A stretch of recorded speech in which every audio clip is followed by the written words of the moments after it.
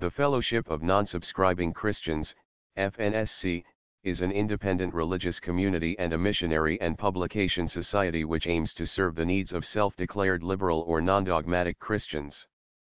It was founded in 2013 by a group of Free Christians, Unitarians, and non-subscribing Presbyterians from Britain and Ireland with a view to promoting liberal Christianity that is inclusive of Trinitarian and Unitarian positions.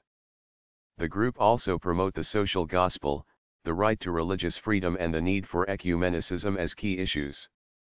Liberal Christianity as promoted by the FNSC is defined by the following principles. The FNSC publishes a magazine known as the Fellowship and holds gatherings in both Ireland and Britain. It is supported by Moneyrea non-subscribing Presbyterian Church and Stalybridge Unitarian Church. The group also seek to provide a network for non-subscribing Presbyterians who have left Ireland to work in Britain with a means of continuing connection with the non-subscribing Presbyterian Church of Ireland, though it is not formally affiliated to the NSPC.